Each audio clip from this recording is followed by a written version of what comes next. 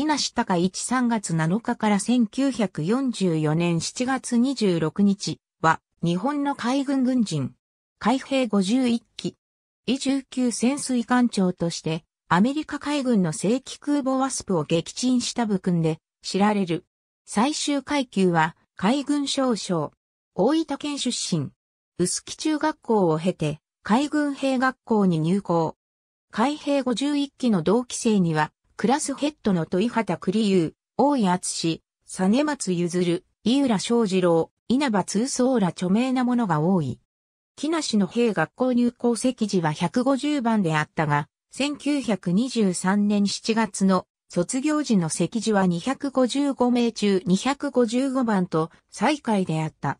1924年12月、海軍少尉に任官。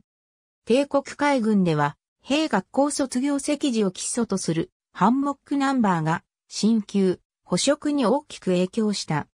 ハンモックナンバーが上位の特急組を除き、大半の海軍士官は、両源時化と呼ばれ、欠員補充のために、艦艇から艦艇へと土佐回りをさせられるのが常であった。木梨は1929年11月、海軍単位に進級すると同時に、E61 潜水艦航海長に補えされてから、1944年7月に E29 潜水艦長として、艦と運命を共にするまで、航海学生、海軍潜水学校講師学生としての教育機関を除き、陸上勤務は一切なく、艦艇での勤務に終始した。潜水艦士官になる者は、大尉の時に海軍水雷学校高等科学生を卒業して、いわゆる水雷屋になる。その上で、海軍潜水学校を主学生として4ヶ月ほど学び、以後は潜水艦での勤務を重ねるコースをたどる。しかし、木梨は大尉の時に、いわゆる公開屋になるコースである公開学生を卒業11月した異色の潜水艦士官であった。木梨は、法官、阿竹公会長、駆逐艦、吹雪公会長、不設艦、沖ノ島公会長を、それぞれ1年間務めた以外は、5隻の潜水艦で公会長を歴任。1937年12月に海軍少佐。1938年12月に旅59潜水艦長に補えされて最初の潜水艦長職に就いた。1940年7月に海軍潜水学校講師学生を主席で卒業して恩師の銀時計を排除し、同時に遺産潜水艦長に補えされた。同年11月に旅34潜水艦長に転じた。1941年7月に、イ62潜水艦長に補えされ、同年12月の太平洋戦争の開戦を迎えた。1942年7月、イ19潜水艦長に補えされる。イ19潜水艦の来撃を受けた直後のワスプ第二次ソロモン海戦8月24日により、爆弾3発を受けた空母エンタープライズが戦線を離脱したため、アメリカ海軍がガダルカナル島をめぐる戦いで使用できる空母は、サラトガ、ワスプ、及び新規に太平洋に開港されたホーネットの3隻となっていた。一方、帝国海軍はアメリカ海軍のガトー方面への補給路を遮断すべく、潜水艦部隊をガトー周辺海域及びサンクリストバル島の北東から南西の半円形の海域に配備した。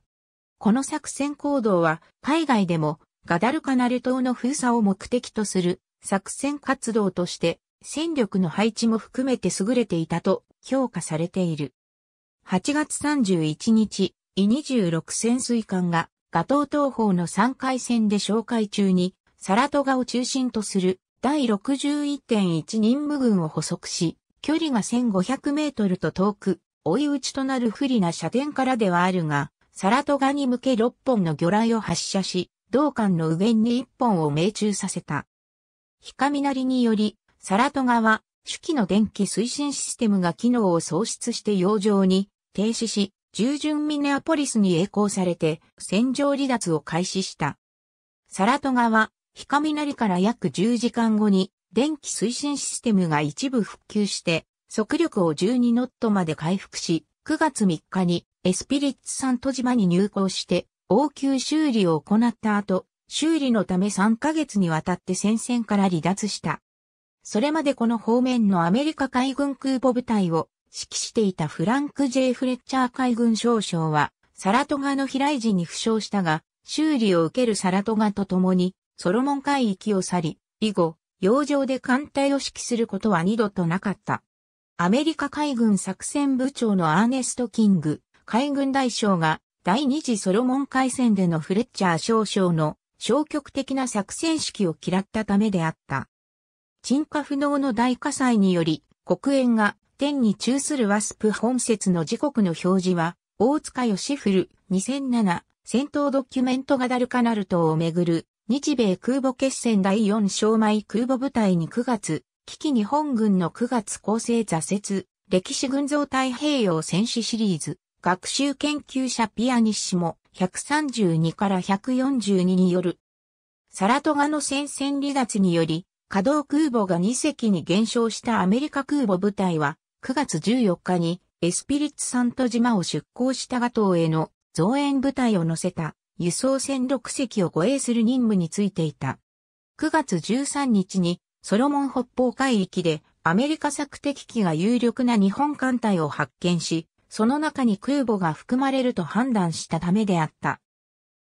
9月15日、サンクリストバル島の盗難を紹介していた、木梨の指揮する E19 潜水艦は、1045以降に基地航空部隊の索敵機が空母を含むアメリカ艦隊の発見を報じたことにより、敵艦隊を求めて300度方向の水域への移動を命じられた。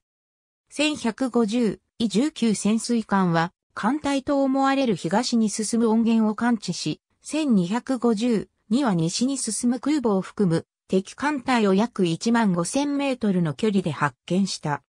E 19潜水艦は敵艦隊の追尾を開始したが、当初の互いの位置関係により、来撃のチャンスを得られる見込みは少ないと、木梨は考えていた。しかし、1322敵艦隊が南西に変身し、伊19潜水艦の付近に向かってくるという行幸が生じた。木梨は敵艦隊を迎撃する進路に変身したものの、高速の敵空母に接近することの難しさを考え、一時は遠距離来撃を決意し、魚雷の速度を中速に設定した。しかし、1343に、米空母がさらに西に変身するという二度目の行幸が生じ、1345、19潜水艦は敵空母から方位角右50度、距離900メートルという理想的な射程を得て、艦首の魚雷発射管に装填した全魚雷6本を発射した。9月15日の1340の時点で、ワスプを中心とする第18任務部隊は、日本艦隊を捜索するため14機の索敵機を発艦させ、16機の戦闘機械4階を飛行甲板に上げ、さらに格納庫内のすべての機体に燃料と兵装を搭載していた。第18任務部隊の全艦が速度16ノットで右方向に回答していた1345ワスプは右舷方向に時間を目指す来石を発見した。ミハリーンの絶叫を受けたワスプ艦長のフォレスト・シャーマン海軍大佐は面舵一杯を礼したが、すでに手遅れであり、ワスプの艦首部右舷水戦下に2本、環境の約18メートル前方を右舷水戦上に1本、計3本の魚雷が命中した。ワスプの飛来箇所はいずれも主要区画より前方であり、機関部への重大な損傷はなく、浸水も比較的少なかった。しかし、2本目の命中魚雷が格納庫に火災を発生させ、格納庫内で補給中であった33機の飛行機が次々に炎上、誘爆をはじめ、1分後には手のつけようがない大火災となった。3本目の命中魚雷は、ワスプの奥深くにあるガソリン庫から格納庫につながる航空ガソリン補給系統を破壊し、燃えるガソリンがワスプの各所に拡散して、関心部に至るまで火災が広がった。広範囲の消防配管が破壊されて、消火作業が不可能となり、ワスプは燃えるがままとなった。1405格納庫内で大規模な誘爆が起きた。日雷から30分余りの1420、シャーマン艦長は総員退艦を命じた。激しく炎上しながら浮かんでいるワスプを処分する決断が下され、駆逐艦ランズダウンが1808から4本の魚雷を発射し、ワスプは2000に沈没した。95式酸素魚雷は中速に設定されていると射程が1万1000メートルを超える。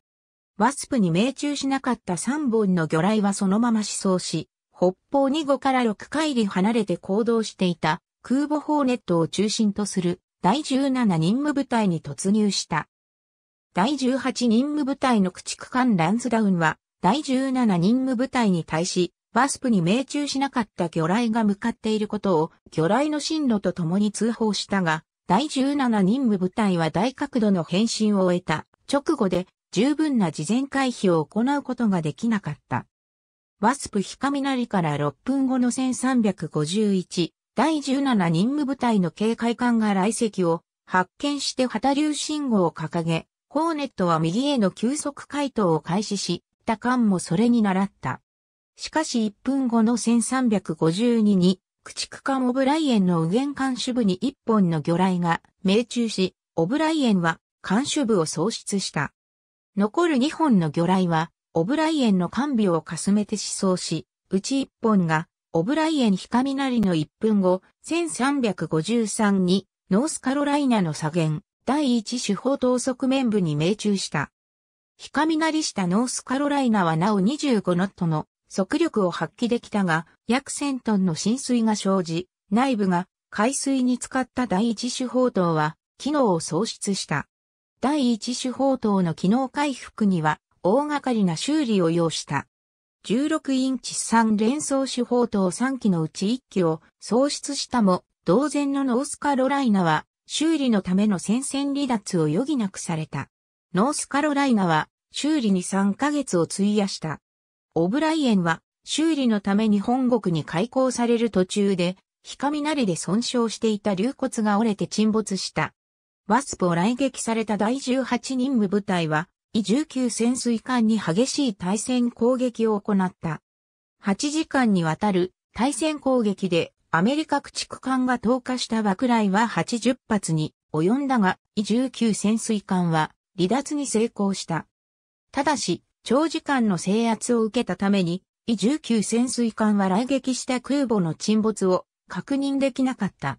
木梨はエンタープライズ型空母撃沈確実と戦果報告した。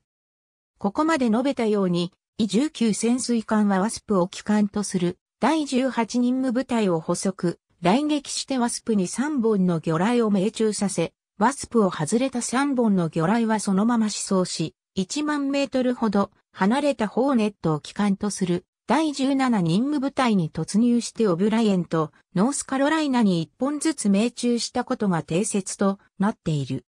一方で、井浦翔二郎、潜水艦隊で引用されているサミュエル・モリソンの編纂したモリソン戦士の記述では、第18任務部隊を補足してワスプを来撃、撃沈したのは19潜水艦。一方、ホーネットを中心とする第17任務部隊を補足、来撃して、ノースカロライナとオブライエンに、各一本の魚雷を命中させたのは、15潜水艦であり、二つの任務部隊は別々の日本潜水艦に攻撃された、となっている。当然ながら、第18任務部隊から第17任務部隊に対して、ワスプを外れた日本潜水艦の魚雷が第17任務部隊に向かっていることを通報したといった言及もない。昭和17年3月から昭和18年11月まで軍令部部員兼大本営参謀を務め、ワスプ撃沈当時の帝国海軍の潜水艦の作戦行動を詳細に知り得る立場にあった井浦は、上記のモリソン戦士の記述を特に否定せず、下記のように結んでいる。なお、ワスプ及びノースカロライナに対する攻撃状況も、我が当時の潜水艦の有志によって語ってもらいたいのであるが、石川、木梨良艦長とも、その後戦死して、今はこの世にないことは、誠に残念なことである。井浦昌次郎、木梨は1942年11月に、海軍中佐に進級し、1943年10月に、伊29潜水艦長に転じた。木梨が潜水艦長に補いされる前に、伊29潜水艦は数少ない同盟国であり、潜水艦による以外は交通手段がないドイツに剣独潜水艦として派遣されることが決まっていた。軍令部部員兼大本営海軍部参謀の職にあった井浦昌次郎は海軍省人事局の主務会員から連合軍の対戦哨戒が太平洋とは比較にならないほど厳重になっている大西洋に赴く伊29潜水艦の潜水艦長に誰を当てるべきか意見を求められ、海兵51機の同期生である木梨を推薦した。木梨がワスプを撃沈する遺訓を挙げていたことに加え、井浦が大尉で、伊54潜水艦専任将校を務めた際に、木梨が同潜水艦公会長であり、木梨の卓越した技量を地出していたからであった。木梨が指揮する伊29潜水艦は、ドイツを目指して1943年11月5日にクレを出港し、14日にシンガポールに入港した。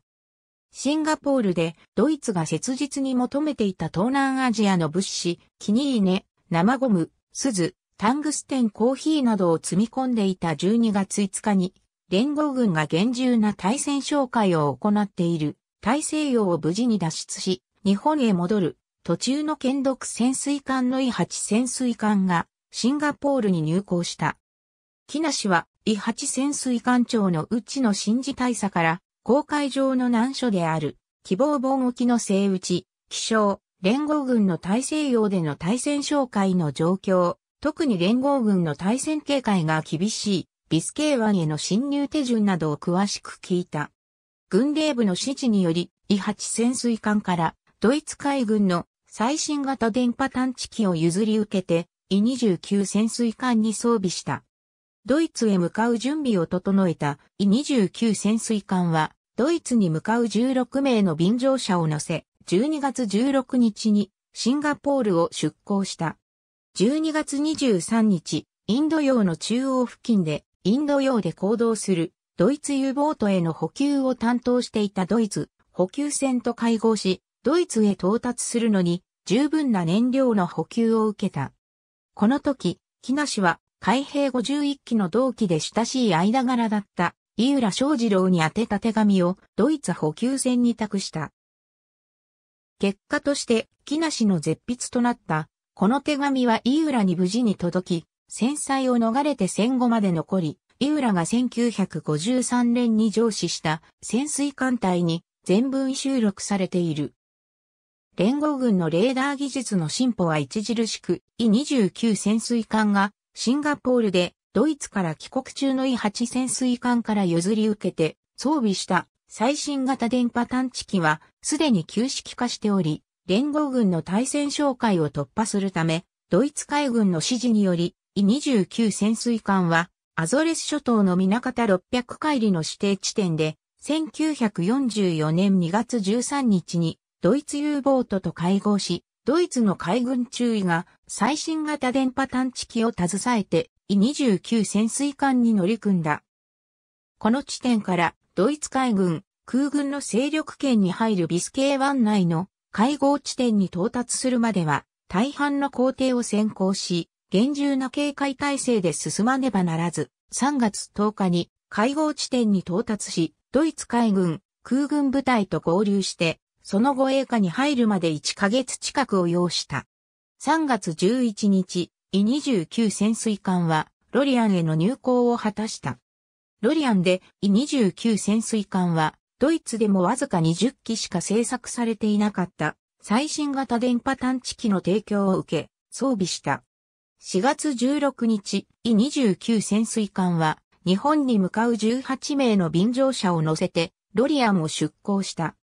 なお、これに先立ち3月30日にロリアンを出港して日本へ向かったドイツから日本に譲渡された U ボートである両501潜水艦は戦後に判明したところでは5月13日に大西洋の西アフリカ沖で連合軍隊戦部隊に捕捉され撃沈されている。E29 潜水艦はビスケー湾からアゾレス諸島付近までの連合軍の対戦哨戒が濃密な危険地帯を長時間の先行を続け、何度も爆雷攻撃を受けつつも通過することに成功し、希望峰を回ってインド洋に入り、7月14日にシンガポールに入港した。シンガポールでドイツからの便乗車をすべて下ろしたイ29潜水艦は整備を終えて7月22日に内地に向けシンガポールを出港したが7月25日に台湾とルソン島の間にあるバリンタン海峡を水上航行している時、3隻のアメリカ潜水艦の待ち伏せを受け、3隻のうちのソーフィッシュの雷撃で沈没した。下士官1名の生存者を除き、木梨以下の全員が1944年7月26日付で戦死したと認定され、木梨は同日付で海軍少将に進級した。満42歳没。連合艦隊司令長官の豊田添務大将は、1945年4月25日付で、木梨の功績を全軍に布告した。山岡総八の小説、海底戦記に登場する潜水艦長の一人は、木梨がモデルである。ありがとうございます。